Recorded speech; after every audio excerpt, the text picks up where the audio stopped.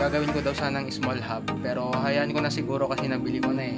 Tsaka ilalighten na lang din natin. Hindi ko nalagay yung oils hose, yung pangharap. Yun yung gagawin nating brake hose sa harap.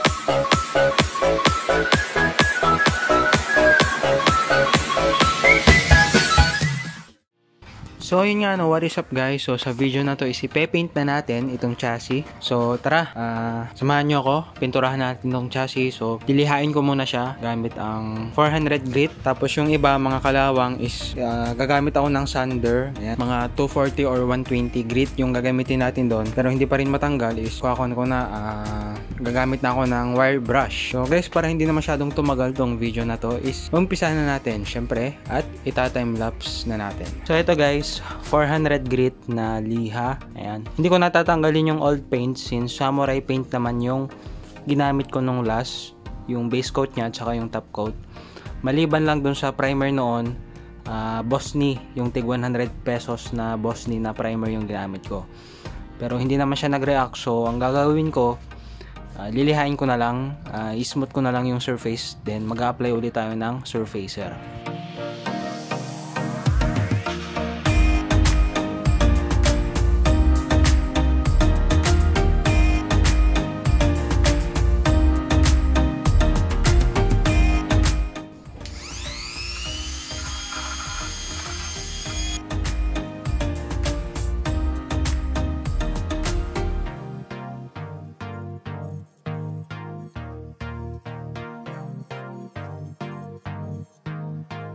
So guys, bali nilinis ko lang gamit yung Dremel uh, dito sa mga sulok-sulok kasi may mga uh, grasa pa dito na iwan. So bago natin pinturahan, uh, final na to na paglilinis uli natin.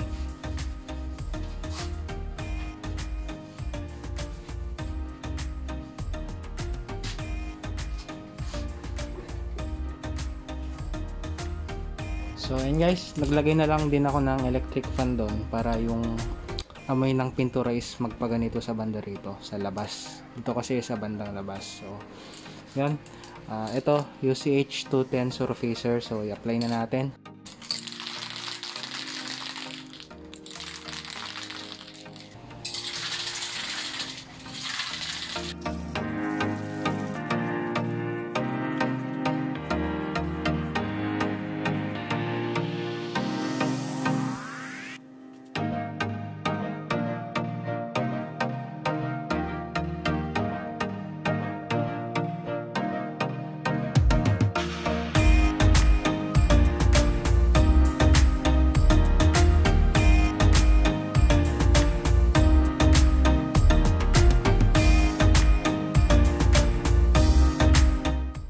So ayun guys, yan na siya ngayon. Pinatuyo ko muna to magdamag.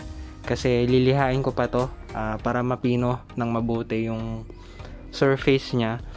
Wet sand, uh, ah, 800 grit. Kung walang 800 grit, uh, ah, 1000 grit yung gagamitin natin. Kasi hindi ko siya ano eh, hindi ko tinanggal yung lumang paint nito. So ang nangyari, kikita nyo yung mga pinagbakbakan ng lumang paint ayan. Hindi siya pino Ayan o. Kita nyo. Sa reflection, di ba? So, hindi ako nagandahan. Dito, natanggal ko yung iba eh. Pero, makikita nyo yung reflection ng pinagbakbakan ng pintura, guys. Ayan. Ayan siya. So, lilihain ko pa ulit to. Or, yun. Uh, tignan ko na lang kung ano yung kakalabasan. Pero, hopefully, maganda naman kakapalan ko na lang yung mga patong ng pintura dito guys. Tapos after ko maliha uh, tapatungan ko ulit ng surfacer. So last coat ko na yon. So tara. So ayun guys. Isinabit ko na rin para mabugahan lahat ng part niya dun sa sulok-sulok pati dun sa ilalim. Kasi nakapatong siya dito eh hindi ko mabugahan lahat. So yan. Bale naglagay na rin tayo ng second coat ng primer dito.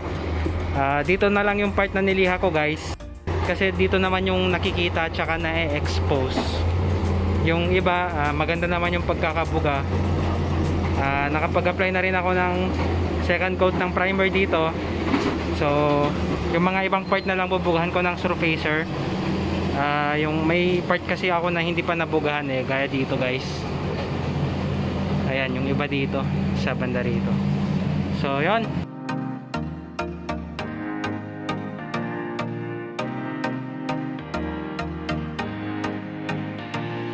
So, ayan guys, tuyo na. Primer. So, ready to paint na to ng base coat. So, ipe-paint ko na siya gamit yung black na samurai paint. So, let's go!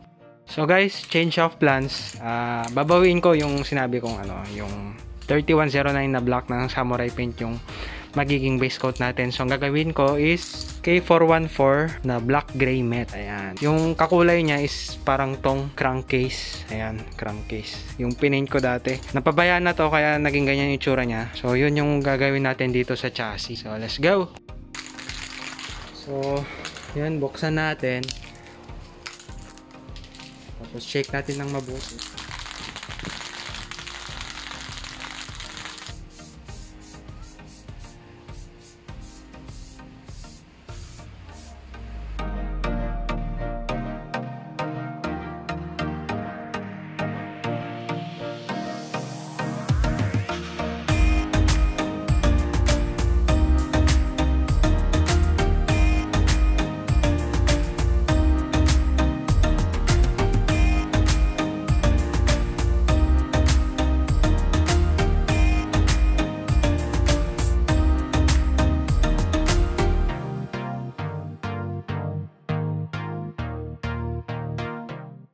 So ayan guys, ah, black gray matte K414. Sa mga magtatanong kung saan siya pwedeng mabili, may tinda po tayong ganon sa Shopee Store. Ilalagay ko yung link dito sa description sa baba. I-check nyo na lang yun guys. And then na nga, first coat ng black gray matte. Ah, nagustuhan ko naman yung kulay niya. Naghalo-halo na yung kulay niya na black, may pagka-gray, na may pagka-silver. So, andito na lahat. Ah, first coat yon So, magsa-second coat pa tayo. Then, after yung second coat, mag-apply na tayo ng K1K Clear. So, yon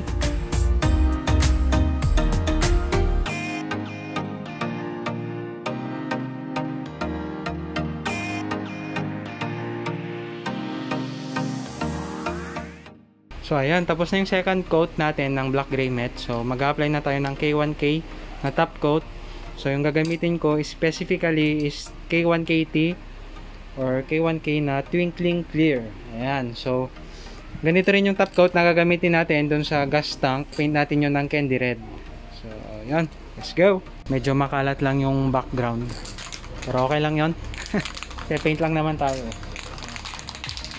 Shake lang natin ng mabuti.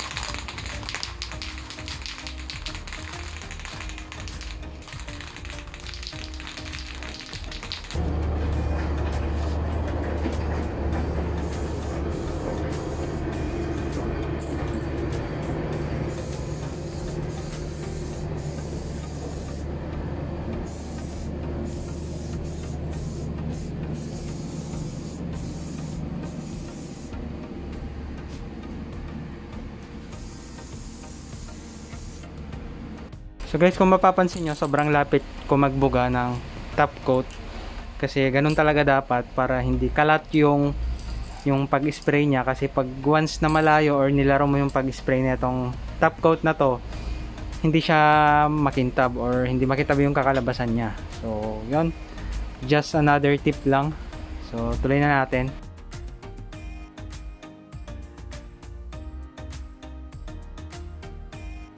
So guys, ayan na siya no. Medyo malikabok lang dito sa amin kasi ginagawa yung daan. Sisementoy na ata. So naipon yung alikabok. So tuyo na to guys. Yan yung ginamit natin. Uh, UCH 210 Surfacer tapos K414 na black gray matte and K1K na twinkling clear. Lahat ng yun guys, nandito sa description sa baba sa Shopee store. Check nyo yung link guys. Doon siya pwedeng mabili COD nationwide. So ayan guys, bago natin tapusin tong video na to is mag-shoutout muna tayo ano. So ayan, uh, shoutout to Alexis Belo, shoutout to Alijan Barceliano, shoutout to Cesar Joseph Kayasa, and shoutout to Clint Java, shoutout to Junaris Cruz Bautista. Ayan. Shoutout to Nashtan, yan, dalawa pa yung comment niya.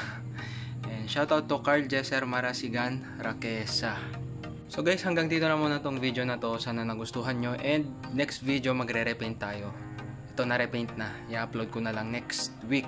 And mapapansin nyo yung hub, yung hub na gamit natin is hindi siya lighten. So, ilalighten natin yan.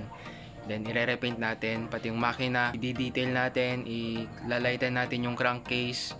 Tapos, actually may nabili akong gulong. Quick tire yung brand kasi. Eh, pang Vans pala yon Ewan ko kung pwede siya sa street bike. So, I'm planning na magpalit ng gulong. Ah, siguro V-rubber na Gecko Star or IRC tire na Eat My Dust. Then yung hub sa harap guys, ah, may nagsuggest actually si Idol.